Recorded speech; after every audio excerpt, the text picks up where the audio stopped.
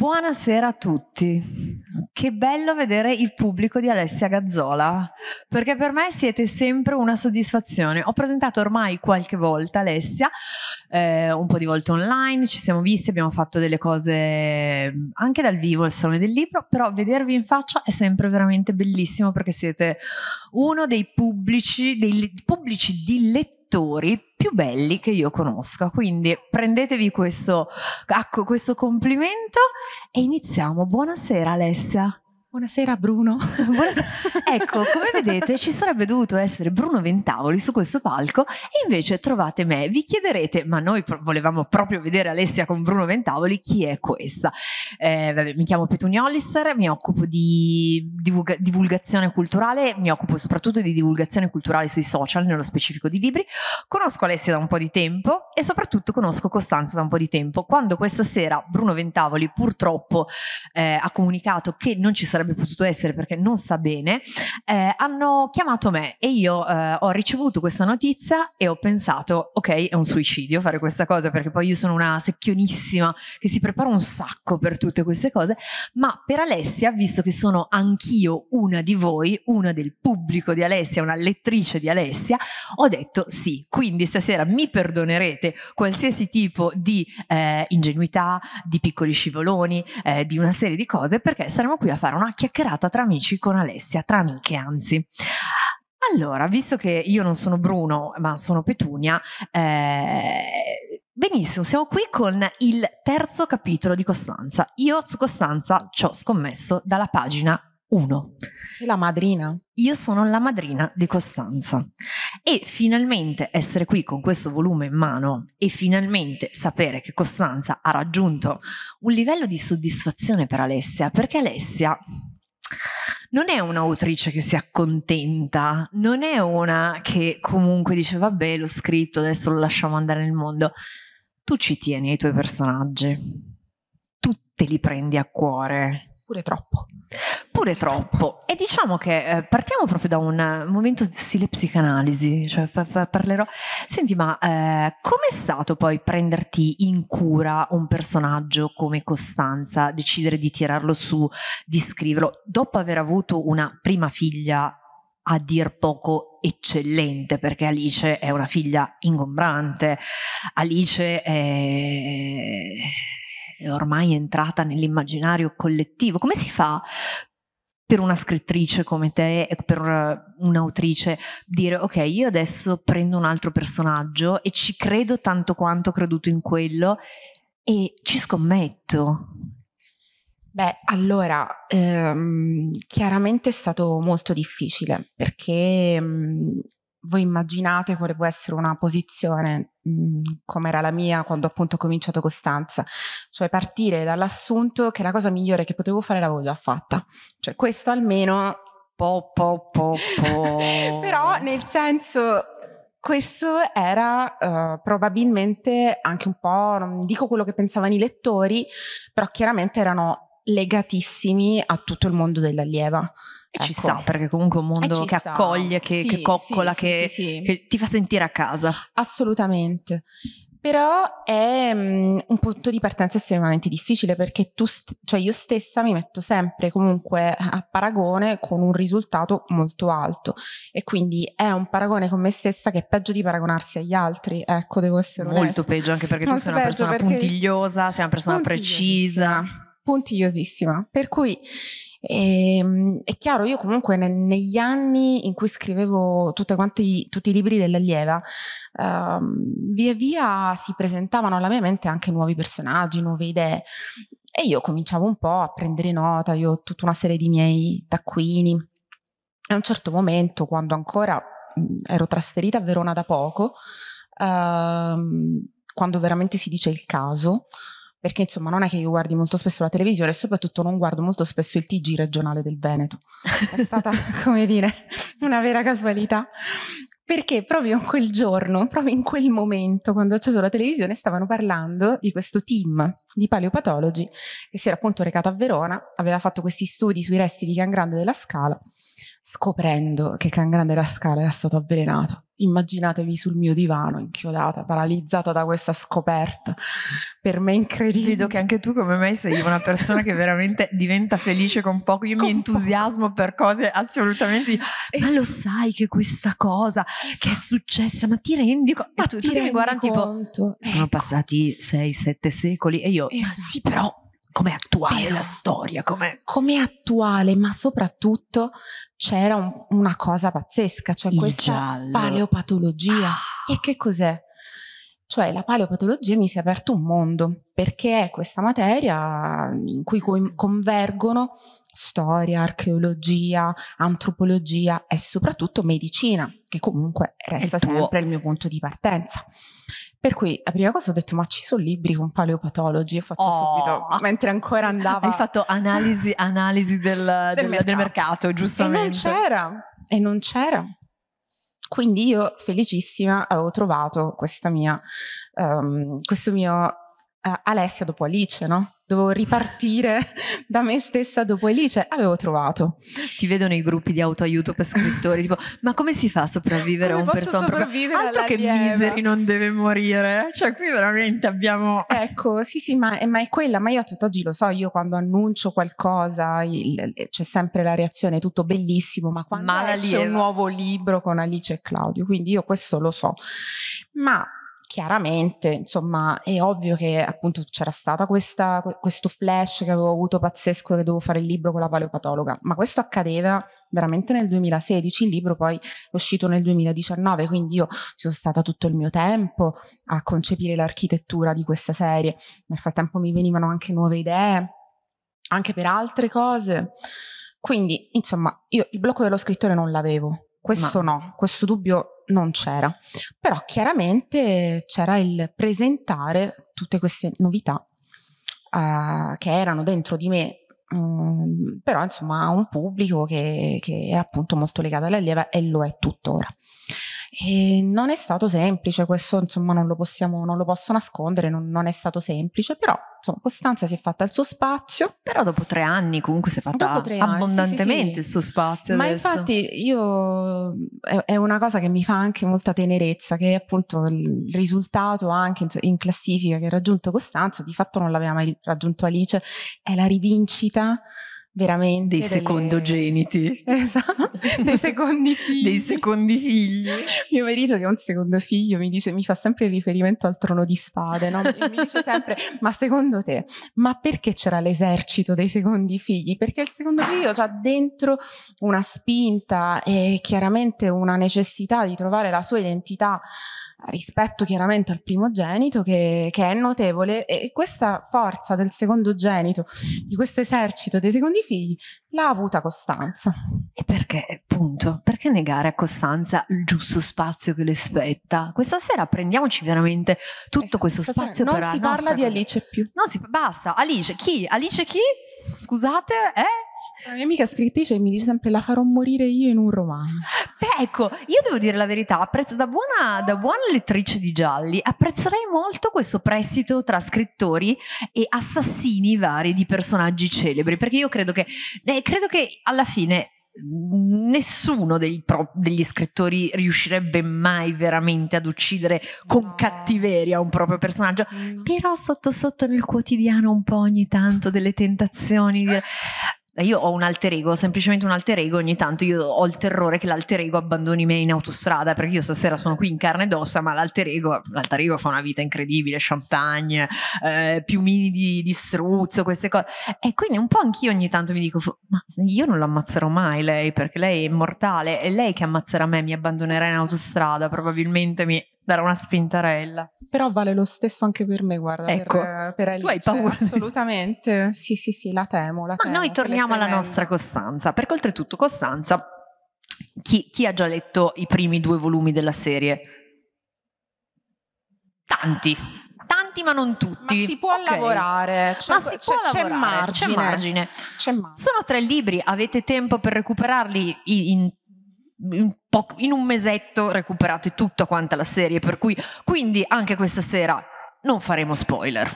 perché questa è la bravura del, del, presentatore e dell'autore che ovviamente hanno loro spoilerato tutto questo dico sappiatelo quindi tienimi buona tienimi al guinzaglio no ti tengo assolutamente al guinzaglio perché no bisogna visto che comunque qui cioè Costanza chi è Costanza? Costanza è una bellissima ragazza di 30 e qualcosa anni, più o meno. È un po' più grande di come era quell'altra, la primogenita, di cui non faremo più il nome. Eh, Costanza è siciliana, è originaria de- della Sicilia, è una ragazza, una bella ragazza, con i capelli rossi, molto molto, molto seducente molto. anche, molto, molto seducente, mo- molto vitale, molto vitale. Costanza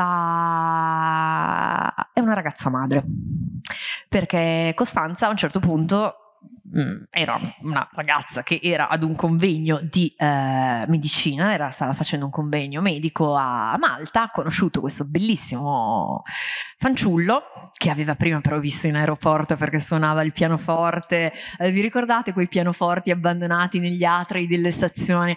Ecco, a Costanza è toccato incontrare una persona che evidentemente non era un pianista amatoriale, ma era una persona che suonava molto bene il pianoforte, oltretutto era un bellissimo ragazzo. E lei subito, insomma, così un po', un po', un po' così. L'ha e convinta lo, al ciao. L'ha convinta al ciao. Convinta al ciao. E così si conoscono, finiscono sulla stessa isola. Insomma, Costanza a questo convegno non ci andrà mai a questo congresso. Cioè, ricorderà eh, la Valletta come uno dei posti più caldi della sua vita, mai nessun posto sarà più così calda. Che succede? È che il giorno dopo lei si rende conto, e questa è un'altra cosa che ti, ti ringrazio di aver fatto, che eh, a Malta purtroppo la pillola del giorno dopo non è un'opzione. E nove mesi dopo nasce Flora. Flora è eh, la figlia di eh, Costanza e di questa avventura sull'isola di Malta. Ovviamente Costanza aveva un numero di telefono di questo eh, ragazzo che scopriamo poi chiamarsi Marco, purtroppo però lui ha un certo tempismo nel cambiare questo numero di telefono molto rapidamente. Quindi Marco non sa assolutamente nulla di questa figlia, niente di niente. Costanza però poi si ritrova appunto ad avere una figlia, poi ha una situazione familiare in cui ha un papà, una sorella che già vive a Verona e un fratello disabile che vive però in Sicilia col papà, eh, si trasferiscono inizialmente, lei e Flora stanno, stanno nella natia Messina, eh, si chiama tra l'altro Macallè, io sempre trovo sempre molto esotico questo cognome meraviglioso. Ma da cosa viene il cognome di Costanza? Allora, Viene eh, dalla città di Macallè, però sì. da, da, Camilleri che aveva scritto. Ok, fantastico, quindi è Camilleri il, il link. E eh, mi piaceva, suonava bene. Bello, Costanza tu, Macallè è bellissimo. Macallè, eh, Costanza Macallè eh, che si prende una laurea in medicina un po' facendosi tirare per le orecchie, mm, non è propriamente una secchionissima, si ritrova con una figlia piccola, ragazza madre e il posto che le viene proposto è a Verona, mm-hmm. dove però fortunatamente abita già Ant- Antonietta, Antonio, Antonio, Antonietta, Antonietta, detta Toni, che è sua sorella ed è anche il suo superio. Dice, eh, perché visto che Costanza è una persona che eh, è estremamente impulsiva, non ha filtri, ha fatto una figlia con uno sconosciuto, scusate, adesso, senza darle della poco di buono, perché non è una poco di buono, però è una persona molto impulsiva. E si ritrova in sta Verona. Cosa fa sta ragazza deliziosa però alquanto confusa con una bimba piccola oltretutto che si porta dietro. Che fa Verona? Cosa perché? Che concorso vince? Ma soprattutto come lo vince? Perché si applica questa materia che abbiamo già citato prima? Ah, neanche si applica perché comunque è un concorso praticamente per titoli per cui lei si limita a mandare la domanda e c'erano soltanto due, come dire, c'era soltanto una candidata, era lei e quindi fa, facile facile, ecco insomma se le, si è accollata questa, questo posto, questa, io l'ho immaginata, sai come quelle borse, un po' quegli assegni di ricerca, quelle situazioni comunque ovviamente sotto i mille euro. E Perché comunque, comunque, appunto Alessia, essendo, eh, eh, avendo lavorato tanto in campo medico e sapendo sì. bene come funziona anche tutta quanta la parte di borsisti universitari, tutta una serie sì. di cose, cioè sai, sai, bene anche questa, questa, parte, gli assegni di ricerca, anche mm. hai descritto anche un mondo del precariato in qualche eh, modo tanto. molto... Per quanto adesso le, le, cose sono anche un po' cambiate perché in realtà i medici trovano anche con molta più facilità rispetto per esempio ai tempi miei, ormai li assumono mentre sono ancora specializzanti, questo diciamo come inciso, per cui al momento la, la medicina è tornata un po' come ai tempi di quando mia madre mi diceva ma dovresti iscriverti a medicina perché a medicina trovi lavoro sicuro e poi in realtà io figlia degli anni Ottanta sei Stavo finita sicura, cioè proprio buco. tutta la nostra generazione in realtà ha patito tantissimo e tutti i miei colleghi di corso praticamente ce ne siamo dovuti andare. Vabbè, ma detto questo, questo sempre no, no, non divaghiamo, però insomma ora le cose sono un po' cambiate, però io ho immaginato comunque che lei, fresca di specializzazione, in effetti in Sicilia esiste il blocco delle assunzioni ancora, eh, soprattutto quelle a tempo indeterminato, quindi ho immaginato che lei insomma, eh, sua sorella le procura questo link eh, di questo posto in cui è proprio richiesto Lei tra l'altro non è per niente motivata ad andare a fare questa no, cosa, proprio no, no, zero. Zero, zero. Zero. Zero. Poi Verona è fredda. È fredda, sì. Come ci si trasferisce da Messina a Verona? Una tragedia, visto che comunque questa è parte della tua biografia. Questo sì, questa è una cosa che le ho voluto dare in comune con me, perché come Alice aveva l'essere una specializzata in medicina legale, e, e basta, perché poi tutto quanto il mondo di Alice era tutto di fantasia. Eh, analogamente Costanza non è il mio vissuto, però ho creato questo punto di contatto fra me e lei, cioè il lasciare la propria città per trasferirsi in un'altra. È, è successo a me, è successo a mille altri. Ho pensato che fosse comunque un tipo di, di sensazione di necessità e di sensazione che deriva dalla necessità mh, mm, molto diffusa e quindi ben riconoscibile anche dal, um, dai lettori e dalle lettrici. Quindi io mi sono trasferita che era novembre, sono partita con le maniche corte. sono arrivata a Verona, che insomma, vabbè, lasciamo perdere. E diciamo che l'impatto con Verona di l'impatto, Costanza. Il giorno prima, la, la, cosa è andata così: il giorno prima, niente, è partito questo camion no, con tutte quante le nostre cose. La, la casa era stata. Sei trasferita comunque con Stefano, con tuo marito? Sì, sì, sì. ma lui è trasferita in due era partito da un po', ero rimasta io. Col camion. Col, cioè parte questo camion dei traslochi prima di me naturalmente perché doveva fare appunto tutta la traversata dello stivale per, per, arrivare quindi con tutte le mie cose ciao. E io la sera sono andata a dormire da mia madre. E, mm, e ho il ricordo che la sera così ma facendo c'è, c'è, sempre lo zapping in tv che c'entra. E vedi che lo zapping in tv è sempre, è sempre fondamentale. vedi come è sempre risolutivo. Ho, ho, ho beccato Harry ti presento Sally.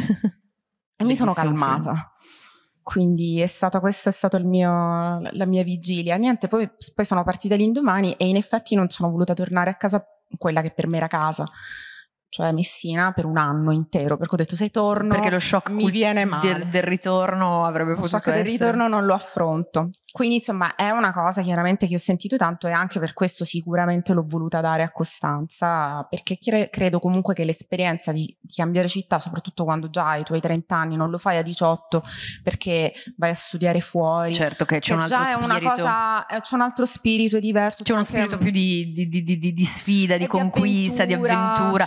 Ma poi dici vabbè, di poca responsabilità torno, anche, poi, esatto. O magari vado altrove, cioè anche una cosa non definitiva. Chiaramente invece nel mio caso era un una cosa che aveva in sé tutta quanta la forza, invece anche di una scelta definitiva, indubbiamente. Per cui insomma c'era tanto dentro e quindi questo sicuramente a Costanza l'ho, l'ho dato come, come, tratto in comune, per cui ogni tanto anche un po' di nostalgia, soprattutto nel secondo libro, in Costanza e Buoni Propositi, lì l'ho fatta eh, trapelare, ho fatto anche un capitolo intero ambientato in Sicilia. a Messina che lei torna, insomma è un qualcosa che, un, un punto di contatto che mi sta molto a cuore e quindi c'è, e, ed è, però l'unico in realtà, a parte, oddio, l'unico poi c'è la maternità che però chiaramente la maternità, però diciamo che è un, po', è un po' comune a, tante, molto, a te, tante ecco, persone. È vissuto sicuramente anche in una maniera molto diversa perché appunto lei si è trovata in, in, questa situazione, appunto lei è molto, alla fine è una che davvero butta il cuore oltre l'ostacolo, a un certo momento lei senza pensarci troppo. Infatti anche il bello del personaggio è, di Costanza questo. E questo è il bello, ma io l'ho voluta così anche perché tanto in questo è proprio tanto diversa e per me la scrittura, il bello della scrittura in verità è proprio questo, cioè mettersi i panni che non sono propri, sperimentare com'è essere persone diverse. E quindi io invece che sono una mm, molto molto razionale, che, che, pensa sempre a tutto, ci pensa mille volte prima di fare una cosa, Se, dopo che l'ho fatta però poi sono indecisa e ci ripenso. Quindi, di che segno sei tu Alessia? Io sono Ariete ma non me la giustifico questa cosa, ah, no, non me la giustifico. No, perché Ariete dovresti essere fumantina, ma dovresti infatti, essere... Che pensarci, avrei qualche ascendente strano. No, sono Leone. Quindi no, non si capisce questa cosa. Oddio, eh. La luna è scorpione. Oh, ma, ma, ma, pensate che sembra una ragazza così a modo, così carina, tenerina, al fuoco dentro. Allora, eh, sei, sei, un tank in realtà. So no, forse no, hanno sbagliato a trascrivere l'ora di nascita, l'unica spiegazione possibile. Non mi, non mi capace. Vabbè, forse l'astrologia non serve, non serve, a niente, forse è una cosa effettivamente che non corrisponde alle cose. Mentre invece tu però sei attenta quando dai i, i segni zodiacali ai tuoi personaggi personaggi, mi Ma piace sì, quello. io li do sempre, per esempio Marco l'ho voluto gemelli. Ah, lo sapevo, lo sapevo, sì, lo sapevo, assolutamente che era gemelli, ne ero certa. No, no, ma è una cosa che mi diverte, ecco, questo sì, però ripeto, non, non, non mi capacito nel, nel, mio caso, appunto, perché invece io ho tutt'altro tipo di, di temperamento.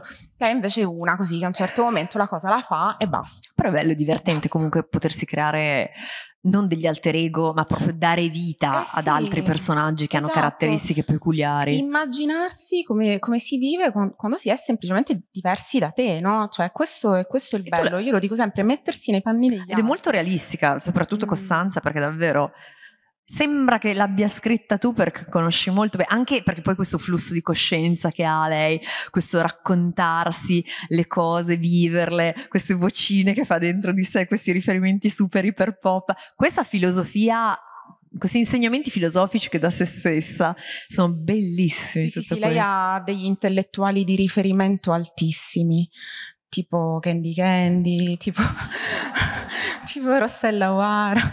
Questi, questi, sono i suoi intellettuali di riferimento, diciamo. Ma ognuno, perché non, perché non sono intellettuali? Di, non sono intellettuali, le, sono role model, chiamiamoli role model, esattamente. Model. Diciamo, la sua Bibbia è la verità che non gli piace abbastanza, cioè eh, quel film lì lo sa a memoria, per cui lei ha tutto questo suo, questo suo immaginario pop, che parzialmente sì, è anche il mio, pure io lo conosco a memoria la verità che non gli piace abbastanza. Assolutamente, assolutamente.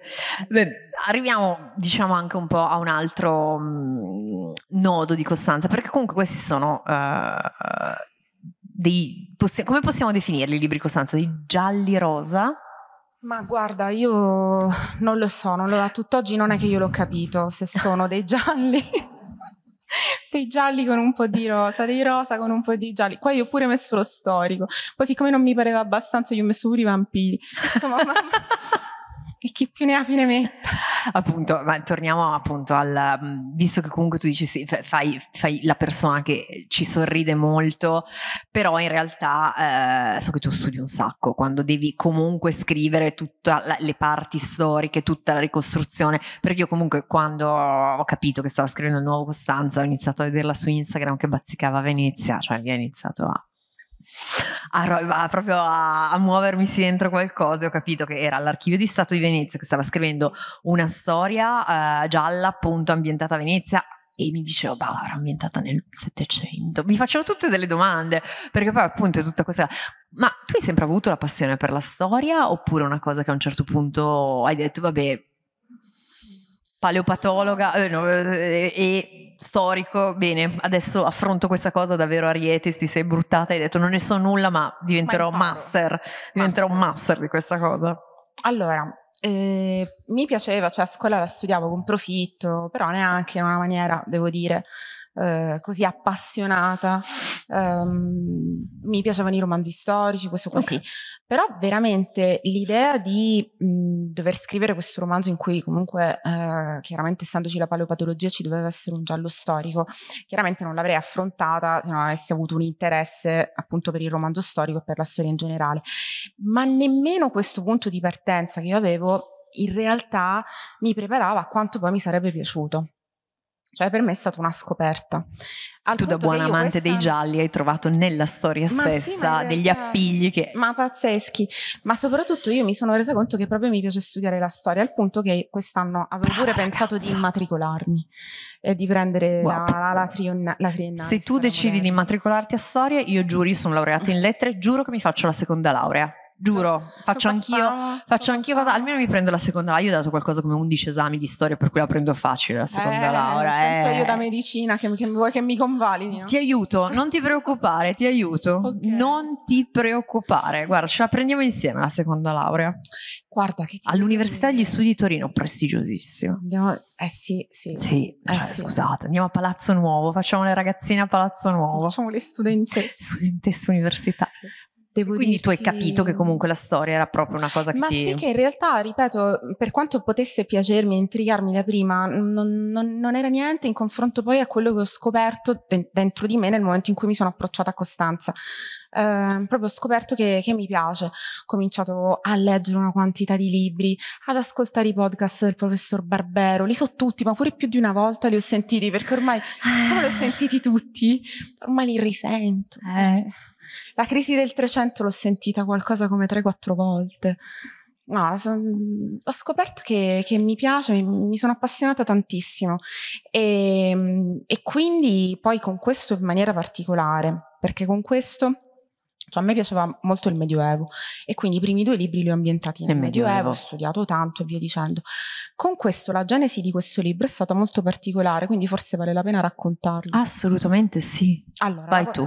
Ok, però a un certo punto asciuga. Io ti, asciu- segnare. ti faccio, ti faccio segnare perché... perché io parto. Allora, Non fare spoiler. no. Mm. Allora, io volevo scrivere un romanzo ambientato nel 1618 perché nel 1618 a Venezia c'era stata la congiura di Bedmar, ovvero Cos'è? Queste, ehm, cioè si diceva che gli spagnoli avessero congiurato contro la Repubblica di Venezia. In realtà oggi si è propensi a pensare che Venezia avesse congiurato contro gli spagnoli. Capite? L- l'oggettività della storia, i fatti, la verità. Non Chiuso. esiste, infatti, l'oggettività. A me piaceva come periodo perché oltretutto è anche lo stesso periodo un po' del dominio spagnolo eh, Nel nord di Italia. Milano, eh, i promessi sposi, insomma, pensavo che tutto sommato l'opera sì, sicuramente sarebbe stata ambiziosa, ma con- quantomeno c'era una cornice eh, narrativa mh, per noi italiani comunque molto, molto chiara. E quindi mi sembrava una buona idea. Mi sono messa a leggere, a studiare, avevo pure scritto i primi due capitoli già della versione storica, se non che sempre perché stavo approfondendo mi sono imbattuta in un articolo e in questo articolo mh, diciamo il tema era l'ingresso delle famiglie fiamminghe nel patriziato veneziano. In particolare si parlava di una famiglia e quando io ho letto questo articolo scritto da una professoressa olandese io ho trovato il romanzo, ma era pronto, fatto e finito, perché si raccontava di questo padre, la madre non c'era, era morta presumibilmente di parto, aveva queste due figlie. Una era caduta dal balcone di un teatro, ma giovani, eh? L'altra l'hanno fatta sposare di gran corsa con una sorta di, eh, come posso dire, aiutante di bottega del padre. E, però il padre aveva ingiunto che, non, ehm, cioè che avrebbero dovuto prendere il cognome di lei. Eh, quindi in, ra- in realtà questo ragazzo sarebbe stato veramente soltanto un fantoccio, tanto per dire facciamo sposare, ma quello che si deve, ehm, Si come dire, tramandare. tramandare è il nostro nome, la nostra ricchezza. E questa cosa gli era stata peraltro suggerita dopo la morte della prima figlia, appunto in circostanze così tragiche sulle quali peraltro si erano fa- dette eh, le, le peggiori cose Ma non diremo altro. ma non diremo altro, ehm, gli era stato consigliato peraltro da un amico, quindi io mi sono detta ma qua c'è tutto quanto il romanzo, è perfetto, cioè io ho visualizzato tutto e a quel punto mi sono messa a studiare per capire questa famiglia e soprattutto cosa si sapeva veramente su questa ragazza che era caduta a teatro, che mi sembrava veramente un'immagine proprio anche Molto visivamente parlando, anche. ora al netto del tragico però un'immagine visivamente parlando molto forte, mm, cioè avevo, avevo il mio romanzo. E però mi sono scontrata un po' a volte con l'impotenza dello storico perché certe volte tu sei affamato, vorresti trovare sempre di più e però non trovi perché a volte le piccole storie si perdono n- nella grande storia. Quindi io di questa ragazza volevo conoscere almeno il nome, insomma qualche circostanza in più. Ho, ho chiesto a professori in tutta Europa, mi hanno mandata appunto all'archivio di Stato a Venezia, ho studiato anche lì, eh, è stato stupendo anche perché poi... L'archivio di Stato di Venezia immagino che sia un stupendo, posto è stupendo, magnifico. ma poi la possibilità di poter consultare questi documenti, che sono veramente documenti del, del questa storia di fine 600 per l'esattezza, quindi proprio quella carta, la scrittura, adesso, per me è stata un'esperienza straordinaria, certo. per cui è, è, da lì che poi è nata la cosa ho detto basta mi devo iscrivere a storia perché cioè, è una cosa che mi piace veramente tanto. Ho detto, eh, ho detto anche a caso, ma io ho sbagliato tutto, non devo studiare medicina. ma penso non è mai troppo tardi. Non è mai troppo tardi. Non è mai troppo tardi, assolutamente. No, Veniamo un po' anche nel vivo della storia. Questa famiglia poi tu la batteggi al Masarno.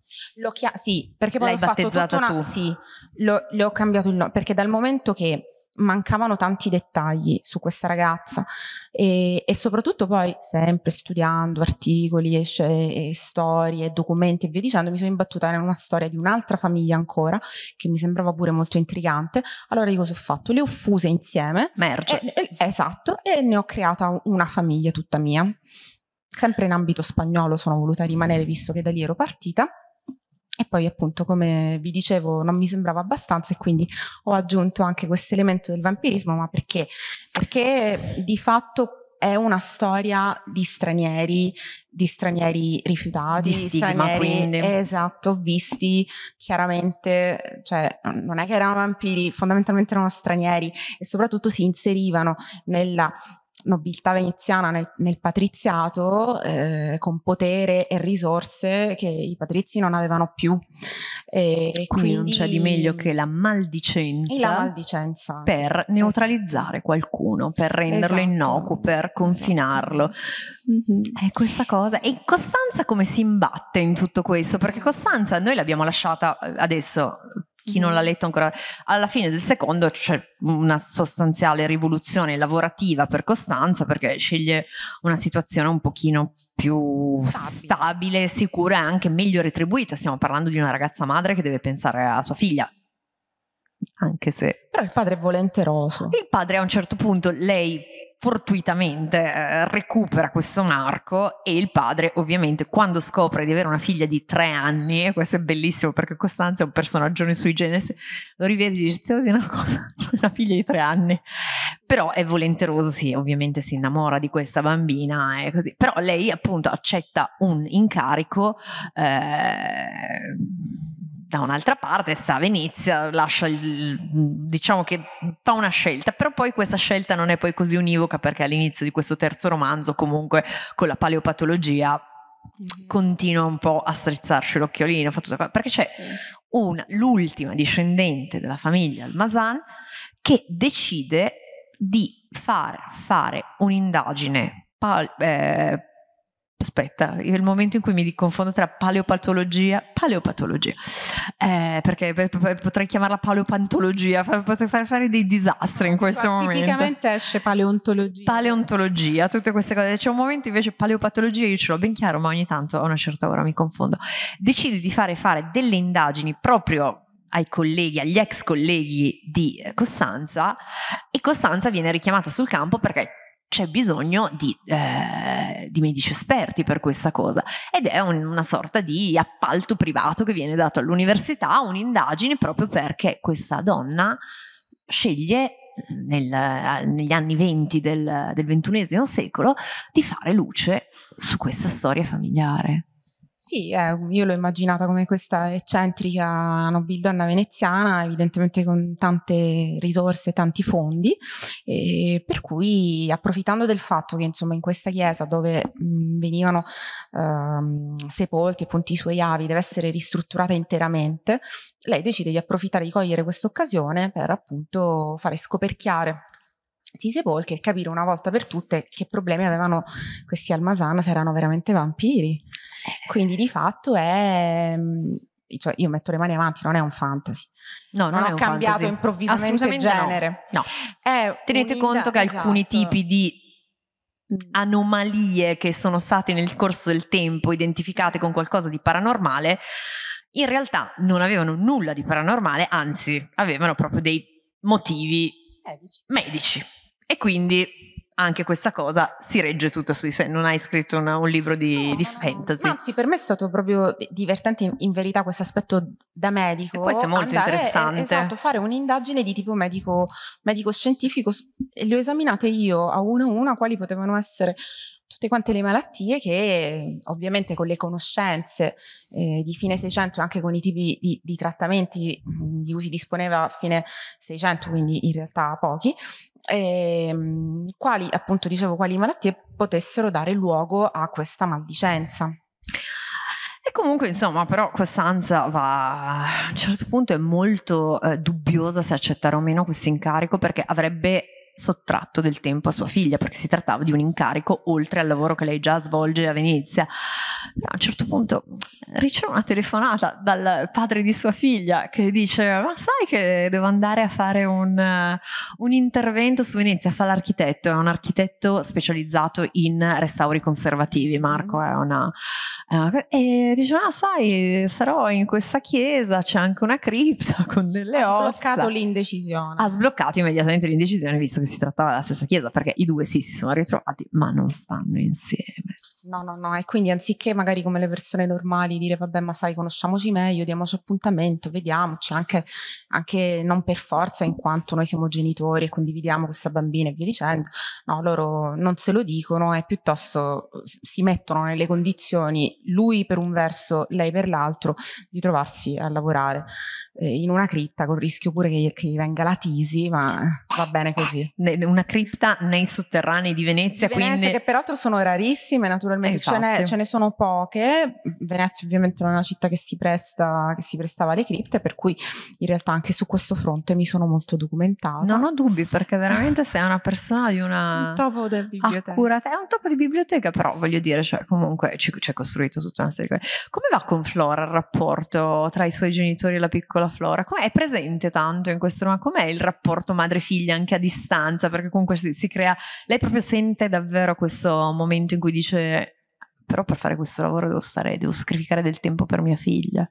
Eh sì, questo è un po', penso anche quello, un tipo di sentimento, uh, come dire, riconoscibile sicuramente per, per tante madri che, che, lavorano e che a un certo momento devono delegare eh, tate, parenti e via dicendo. Ecco, credo che come tipo di sentimento quello che ho che ho fatto esternare a Costanza a proposito appunto dei, dei, dei sacrifici eh, e, della perdita magari di, mo, di momenti che non, non torneranno. Uh, chiaramente sono, sono, delle riflessioni che ho fatto magari anche io a volte come madre, insomma questo, questo mi sembra logico, però anzi io mi considero comunque abbastanza privilegiata perché eh, nel momento in cui ho deciso di mettere da parte la medicina e di dedicarmi soltanto alla scrittura e questo accadeva quattro anni fa, eh, chiaramente adesso dispongo di una certa flessibilità, cosa che prima non avevo, eh, quindi posso anche fare un po' un paragone e dire come era prima, come adesso. Diciamo che adesso mi sento ovviamente più presente e sono, per questo mi considero molto fortunata. Io ho potuto scegliere, ma c'è chi non può scegliere. E quindi diciamo a, a, queste madri che non possono scegliere, che devono lavorare e che devono a volte anche sacrificarsi, è sicuramente dedicata buona parte delle riflessioni di, di Costanza nella speranza ecco, che possa essere un po' quella spalla su cui, non lo so, ti appoggi e ti senti meno sola.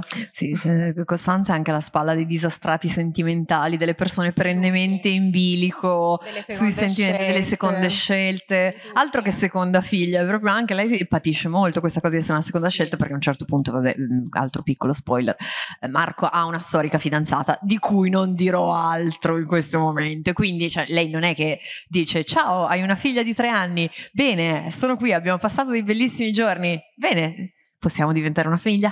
È un po' più complicato di così. È complicato del resto, lei, le, le, cose poi a Malta erano anche degenerate ed erano andate molto storte, si erano salutati molto malamente, anzi molto malamente. non si erano di, direttamente salutati proprio perché lei aveva intercettato questo scambio di messaggi fra lui e quella che di fatto è sempre stata la sua fidanzata e che lui eh, tradiva eh, ripetutamente. E, ehm, e quindi chiaramente c'era anche per lui da fare tutto quanto un suo percorso sicuramente di, di crescita e anche di, di, capire perché la tradiva questa ragazza, eh ecco insomma.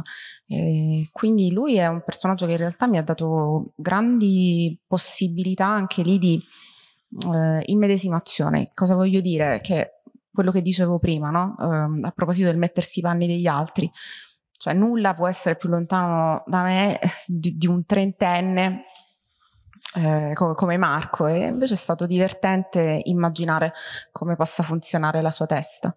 Eh è molto divertente in effetti, bella indagine, anche perché l'hai raccontato bene, devo dire la verità, conosco parecchi trentenni alquanto confusi, eh, per cui... Sì, sì, come dice lui, lui è in una zona grigia di sentimenti. Sì, poi è un gemelli, quindi eh sì, sì, sarà in una zona grigia perennemente. Senti Alessia, io adesso faccio la domanda che si fa a ogni scrittore eh, di grande successo quando si conclude una presentazione, a cosa stai lavorando? Se ce lo puoi dire, se la casa editrice e il tuo agente che sono qui in sala te lo permettono, se non sei blindata da da, cose, cioè ovviamente piccoli spoiler. Ma piccoli. diciamo che adesso a me piacerebbe tanto um, scrivere un libro un po' con um, quello stesso effetto buon umore che è stato quello di Chaverton House, che è stato un libro che ha portato molto buon umore a me e, e tanto anche a chi lo ha poi apprezzato, ecco, insomma, il motivo per cui Chaverton è, è piaciuto uh, alle persone a cui è piaciuto era proprio per questa positività, questo buon umore. E allora mi piacerebbe tanto scrivere una cosa così, genere Chaverton, in un altro posto, cioè non stavolta non in Inghilterra, ma non so. Da boh, un'altra parte, da non facciamo parte. spoiler, però non sarà l'Inghilterra. No, però insomma, comunque ho scritto il titolo, eppure la frasina sergo okay. e lì sono ferma. Vabbè, però l'idea c'è, però stai, stai lavorando comunque. Io sento di dire che non so se dobbiamo salutare Costanza questa sera, non lo so, non ho idea, bisogna leggerlo per capire che cosa ne sarà di Costanza. Io posso soltanto dire che sono molto felice del successo al terzo romanzo che secondo me si porterà dietro anche gli altri due e diventerà un'altra serie di culto eh, di, di, Alessia Gazzola perché comunque secondo me è un personaggio che merita moltissimo soprattutto perché è figlioccia a me, quindi io sono molto orgogliosa di lei. Quindi mi raccomando, andate, parlatene, leggetene bene, diffondete il verbo di Costanza perché io sono molto affezionata a questa figliola un po' po' scavezzacollo anche ogni tanto, un po', un pochino così, un po', un po' che fa le cose senza pensare. Sì, era, lei da questo punto di vista era quella um, più difficile, perché tutte le altre ragazze hanno un vissuto uh, un po', come dire, più semplice, eh, le, a parte Lena, ecco, Lena era un'altra che aveva i suoi problemi, ma Costanza era una che era molto facile da giudicare. Esatto. E, ehm, e, anche questo, cioè io lo, mi sono voluta mettere in gioco perché chiaramente nel momento in cui scrivi un personaggio che non è eh, perfetto, volutamente, che fa delle cose che non lo so, appunto, ehm, potenzialmente lei a un certo momento, soprattutto nel secondo libro, potrebbe essere giudicata come quella che fa un po' da terzo incomodo, no? L'ho sempre messa in posizioni scomode e, Però e quindi tanto simpatica così. Ecco, eh, sì, ma infatti secondo me proprio trovarsi, cioè come lei viene fuori dal trovarsi sempre in queste posizioni scomode, credo che sia un po' il suo punto di forza e soprattutto ripeto, a me come scrittrice, ma spero anche poi a chi mh, mm, legge i libri, ehm, consente in qualche modo di mettersi eh, nei panni a volte appunto di persone che si ha la tendenza anche a giudicare. Ecco. Mi sembra molto sana questa cosa, se posso dire, mi sembra molto sana perché avere sempre personaggi perfetti, eh, conclusi in se stessi, molto determinati nel modo di sì. porsi, pensarsi. E io per questo che proprio a, a, Costanza voglio molto bene. Quindi vi chiedo di fare un caloroso applauso a Costanza Macallè e a Alessia Gazzola. Grazie mille di tutto. Grazie.